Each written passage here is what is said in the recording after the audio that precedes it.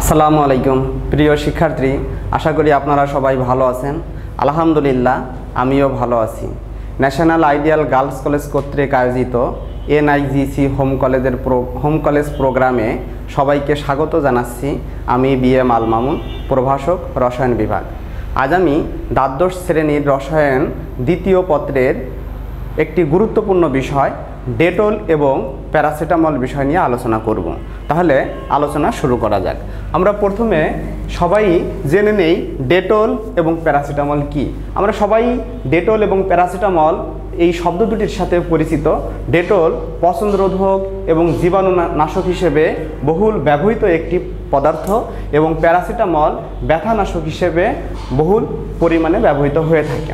তাহলে ডেটল কি কি রাসায়নিক উপাদান নিয়ে গঠিত এবং কীভাবে ডেটল প্রস্তুত করা হয়ে থাকে, এই বিষয়গুলো নিয়ে আজকে আলোচনা করা হবে এবং প্যারাসিটামলের মধ্যে কি কি রাসায়নিক উপাদান থাকে, এই বিষয়গুলো নিয়ে আলোচনা করব।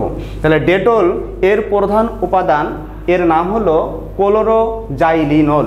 তাহলে ডেটলের সং ডেটল আসলে কয়েকটি রাসায়নিক পদার্থের সংমিশ্রণ। ডেটলের মধ্যে কোলোরোজাইলিনল নামক রাসায়নিক পদার্থ থাকে, আইসোপ্রোপাইল অ্যালকোহল থাকে পাইন অয়েল থাকে এবং সাবান বিভিন্ন ধরনের সুগন্ধি এবং পানি একত্রে মিক্সড করে ডেটল তৈরি হয়ে থাকে। ডেটল বেশিরভাগ ক্ষেত্রে বা আমরা যেটা ব্যবহার করে থাকি, এটা লিকুইড বা তরল আকারে বাজারজাতকরণ করা হয় এবং আমরা তরল ডেটল ব্যবহার করে থাকি। তাহলে ডেটলের সংযুতিগুলো আমরা প্রথমে জেনে নেই। তাহলে ডেটলের সংযুতি হলো কোলোরোজাইলিনল এর রাসায়নিক সংকেত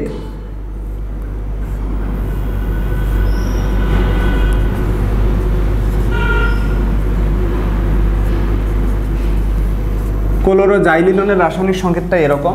এর নাম হলো ফোর কোলোরো ফোর কোলোরো তিন পাঁচ তিন পাঁচ dimethyl dimethyl phenol এর আরেকটি নাম ক্লোরোজাইলিনল। ক্লোরো জাইলিনল ক্লোরোজাইলিনল নামও ব্যবহার করা হয়ে থাকে। হ্যাঁ এই ক্লোরোজাইলিনলের পরিমাণ থাকে four point eight percent W ভাগ ভি এবার আমরা দেখব আইসোপ্রোপাইল অ্যালকোহল। আইসোপ্রোপাইল অ্যালকোহল একটি সেকেন্ডারি অ্যালকোহল। এটার রাসায়নিক সংকেতটা আমরা এভাবে দেখাতে পারি। সিএইচ থ্রি আইসোপ্রোপাইল অ্যালকোহল যেহেতু সামনে ওয়েস থাকবে। তাহলে এটা এটা আইসো প্রোপাইল অ্যালকোহল এটার নাম এর আইসো প্রোপাইল অ্যালকোহল আইসোপ্রোপাইল অ্যালকোহল এটার সংযুতি থাকে তেরো দশমিক এক পারসেন্ট তেরো দশমিক এক পারসেন্ট আরেকটা থাকে পাইন অয়েল। পাইন অয়েলের আর এক নাম টারপিনিয়ল। এই টারপিনিয়লের সংকেত হলো এ সিঙ্গেল বন্ড এস এখানে একটা বেনজিন বলয় থাকবে। এ পাশে আর একটা বেনজিন বলয় থাকবে।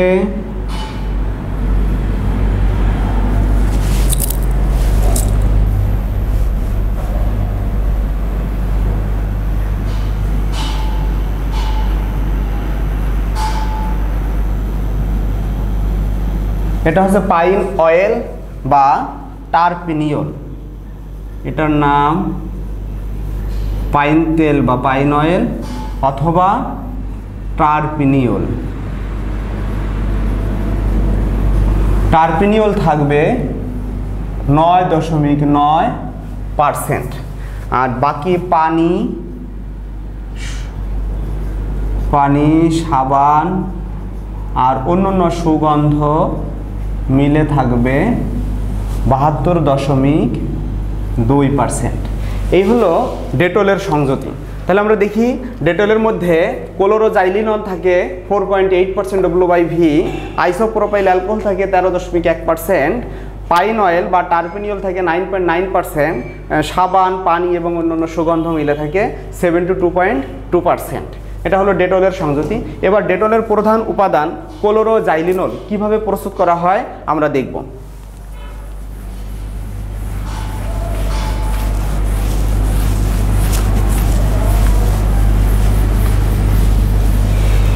ডেটলের প্রধান উপাদান ক্লোরোজাইলিন প্রস্তুতি।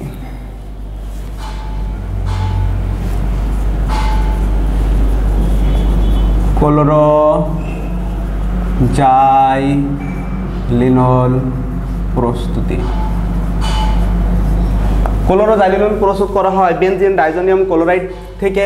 প্রথমে বেনজিন ডাইজোনিয়াম ক্লোরাইড কে এন টু বেনজিন ডাইজোনিয়াম ক্লোরাইডের সংকেত বেনজিন ডাইজোনিয়াম ক্লোরাইডকে মিথাইল আয়োডাইড দ্বারা অ্যালুমিনিয়াম ক্লোরাইড, শুষ্ক অ্যালুমিনিয়াম ক্লোরাইডের উপস্থিতিতে মিথাইল আয়োডাইড দ্বারা ফ্রিডেল ক্রাফট অ্যালকাইলেশন বিক্রিয়ার মাধ্যমে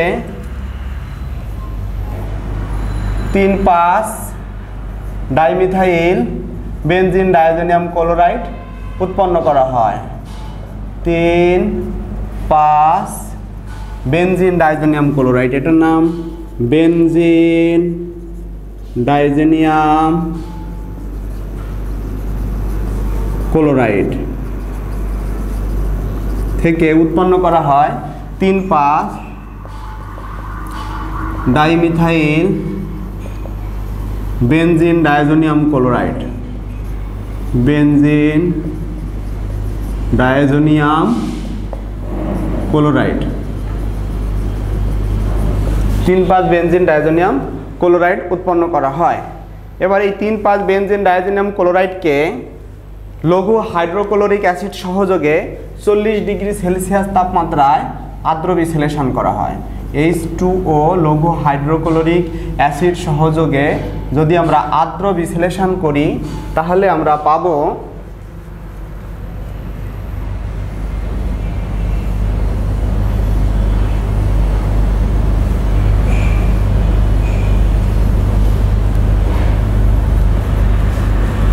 তিন পাঁচ ডাইমিথাইল ফেনল উৎপন্ন হবে।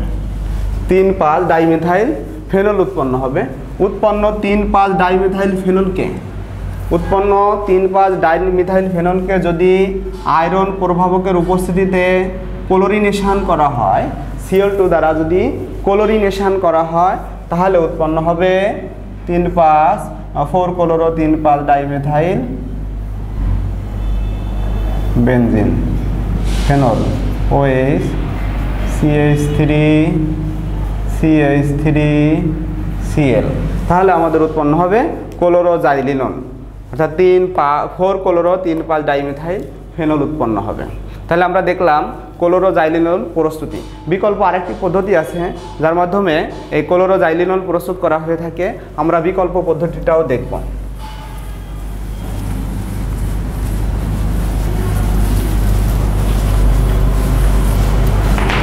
বিকল্প পদ্ধতি একটা ভিন্ন পদ্ধতি দেখি আমরা।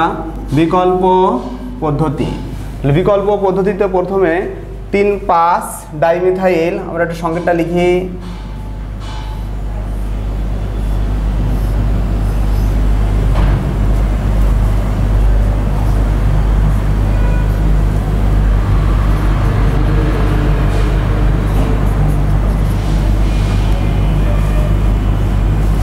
এই যৌগটির নাম হলো তিন পাঁচ ডাইমিথাইল আমরা যদি এটা এক নম্বর কার্বন ধরি, এটা দুই নম্বর কার্বন হবে, তাহলে টু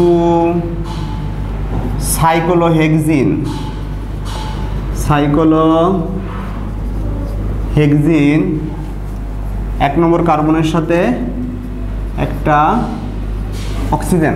এখন তাহলে যৌগটির নাম হবে তিন, পাঁচ ডাইমিথাইল টু সাইক্লোহেক্সিন একন এই যৌগটি প্লাটিয়াম লিগান্ড কমপ্লেক্স বিক্রিয়া প্লাটিনিয়াম লিগান্ড কমপ্লেক্সের উপস্থিতিতে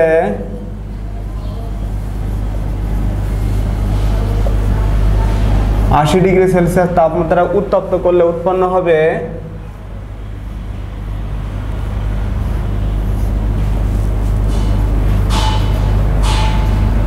তিন পাঁচ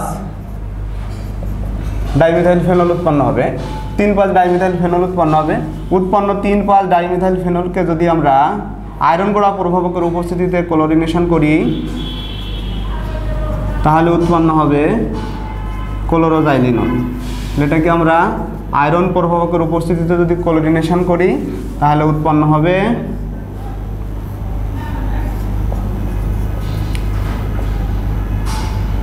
ফোর ক্লোরো, তিন পাঁচ ডাইমিথাইল ফেনল, অর্থাৎ ক্লোরোজাইলিনল প্রস্তুত হবে। তাহলে আমরা দেখলাম ডেটলের প্রধান উপাদান ক্লোরোজাইলিনলের প্রস্তুতি। এবার আমরা প্যারাসিটামল সম্পর্কে দেখব।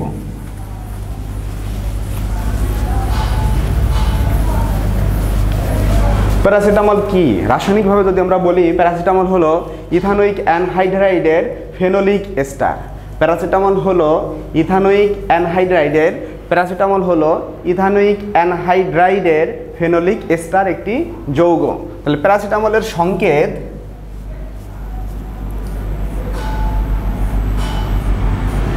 প্যারাসিটামল ফেনলের একটি জৈব জাতক O H N H CO CH three আমরা সংক্ষেপে প্যারাসিটামলকে এভাবে দেখাতে পারি। হ্যাঁ, প্যারাস- প্যারাসিটামল এর আরেকটি নাম হচ্ছে অ্যাসিটোমিনোভেন আর ব্রিটিশ করতে, ব্রিটিশ নাম হিসেবে প্যারাসিটামল বেশি ব্যবহৃত হয়ে থাকে। যুক্তরাষ্ট্রে এটিকে অ্যাসিটোমিনোফেন হিসেবে ব্যবহার করা হয়ে থাকে। তাহলে আমরা এবার প্যারাসিটামল প্রস্তুতি দেখব। প্যারাসিটামল প্রস্তুতি।